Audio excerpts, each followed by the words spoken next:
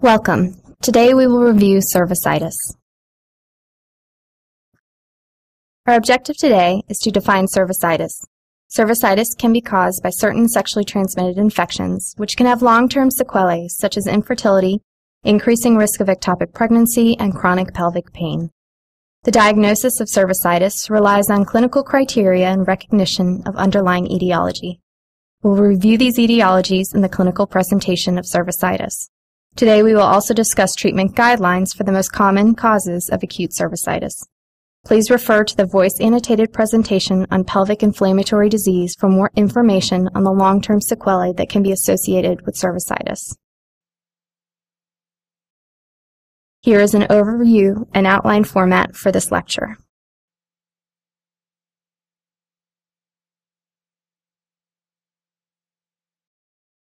Cervicitis is a general term describing inflammation of the uterine cervix, which is the gateway between the vagina and the uterus. Patients who have cervicitis may not have symptoms at all. However, those that do may complain of vaginal discharge, intermenstrual or postcoital bleeding, pain with urination, painful intercourse, and irritation of the vulva or vaginal introitus. Physical exam signs concerning for cervicitis include purulent or mucopurulent discharge from the ectocervix or endocervical canal, cervical friability, erythema, edema, or tenderness may also be present. Cervicitis can be caused by infection or other inflammatory processes, such as mechanical trauma or chemical exposure. Infections primarily affect the columnar epithelial cells of the endocervical glands.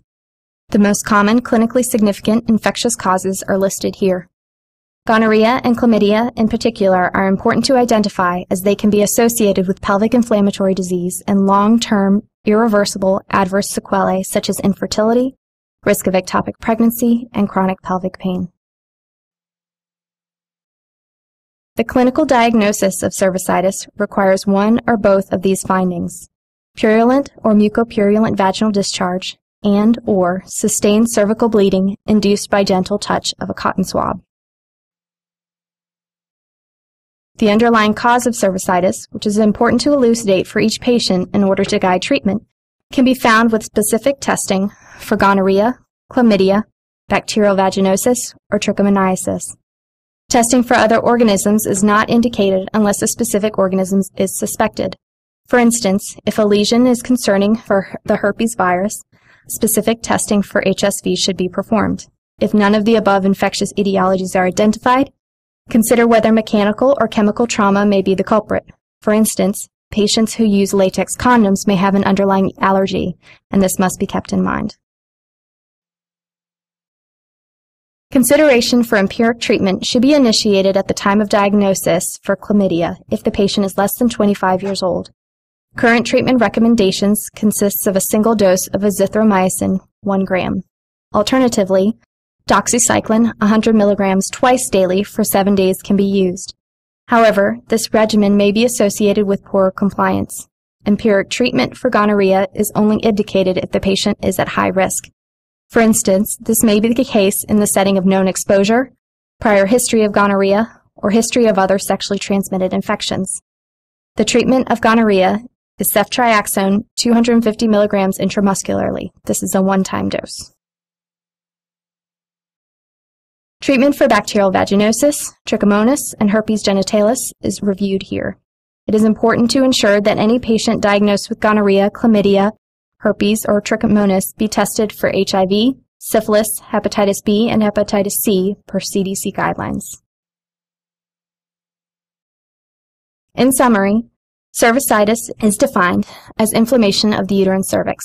This can be caused by a number of different etiologies. The differential diagnosis includes infectious as well as mechanical and chemical causes. Infectious etiologies must be ruled out to prevent associated irreversible long-term sequelae, such as infertility, chronic pelvic pain, and risk of ectopic pregnancy. Treatment of sexually transmitted infections has implications for each patient's sexual partner as well as overall public health implications. Clinical symptoms may vary, and they can include pain, irritation, or discharge. Remember that some patients will be asymptomatic. The diagnosis is based on the physical exam. Treatment is aimed at the underlying etiology.